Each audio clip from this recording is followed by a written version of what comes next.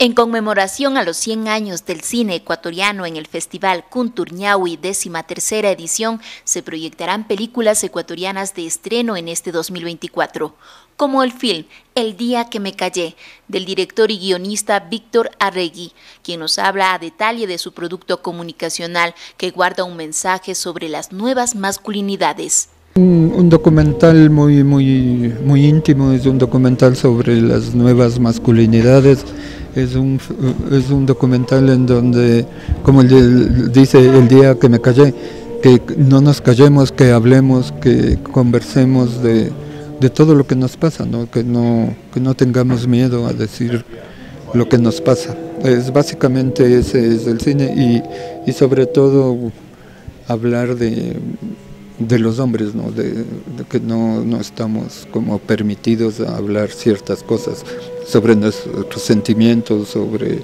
quizás darnos un abrazo está mal visto, o decir que nos queremos entre los hombres está más mal visto.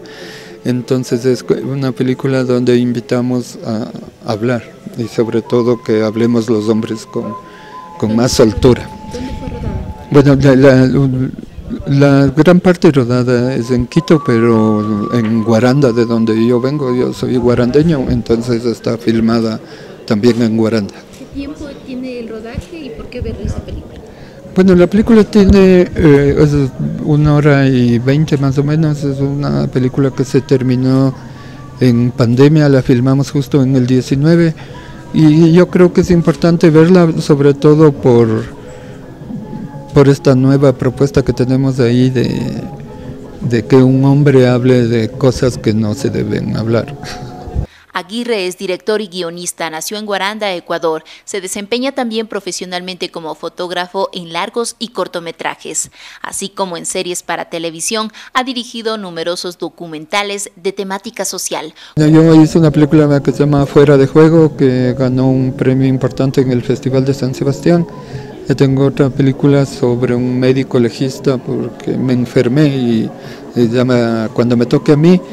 Hay eh, otra película que Rompete una pata hecha eh, eh, dentro de un teatro, otra sobre el facilitador que justo habla del, agua, del problema de la, de la luz, lo que estamos viviendo ahora como los recursos naturales y ahora este documental que es un docuficción que, que toca estos temas sobre las nuevas masculinidades.